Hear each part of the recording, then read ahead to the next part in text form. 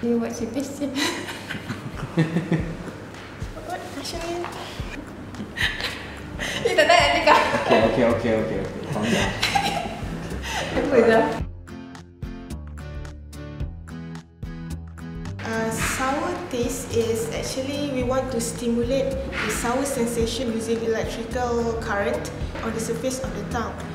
So, would you like to try?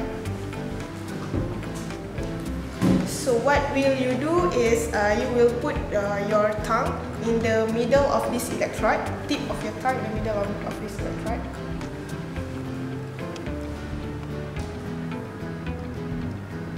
That's the first sensation.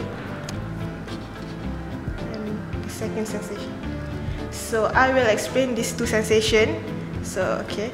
So the first sensation is actually uh, a sour sensation, and the second one is lemony sensation.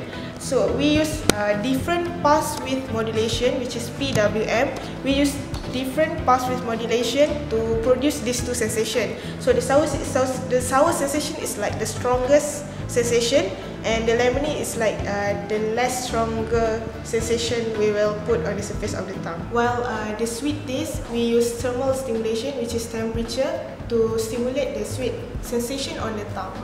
So actually this device is built based on two aims. First aim is we wanted to enhance the sweet sensation on the surface of the tongue and the second one we wanted to stimulate the sweet sensation without the need of any chemicals. So would you like to try?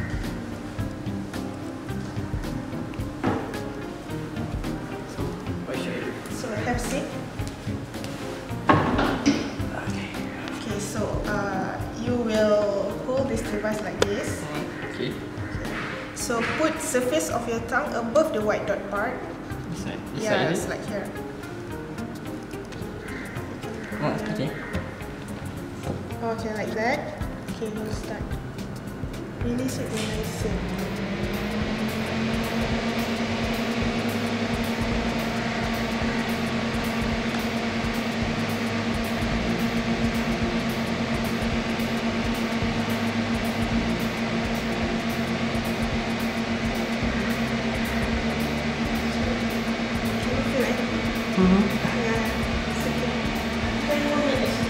Huh?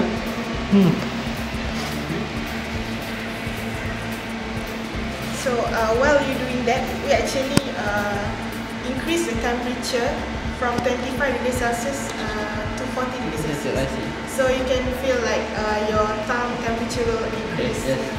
And that's why that's when you you perceive the sweet sensation. This both device we wanted to create this the taste without the need of any chemicals.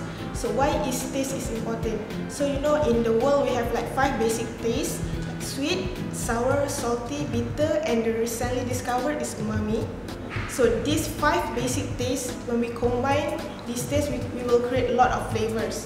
So it's actually the, this basic taste is very important to create all those flavors and combine it to become like one one uh, prototype that can produce a lot of flavors in it. Working together with Afika, uh, actually we we work fully uh, 100% during the thermal taste, but uh, for the sour taste, or, uh, it's, it's not fully our project.